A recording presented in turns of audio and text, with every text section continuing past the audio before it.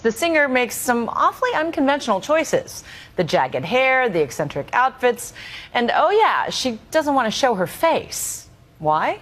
Here's ABC's Chris Connelly. This incredible voice has soared to the top of the pop charts. The voice of 38 year old Sia Furler. Sia, as she is known, has chosen not to show her face on camera when she performs live or speaks to the media. You don't really do entertainment stories pr- really that much, right? Certainly not like this, I don't. what makes this the right decision for you to turn your back away from the camera?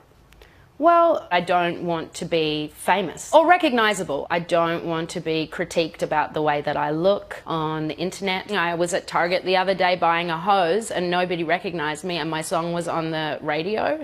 And I thought, okay, this experiment is working. With the video featuring this gifted young dancer, Sia's hit single Chandelier helped her album A Thousand Forms of Fear enter the charts at number one. In what way was it different from what else we were hearing on the radio? I guess because it has a dark undertone. Keep my glass full until morning light, cause I'm just holding on for tonight.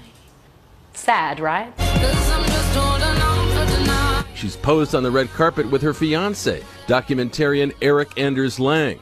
But Sia has been face to face with full on celebrity, and it's not for her. I've been writing pop songs for pop stars now for a couple years.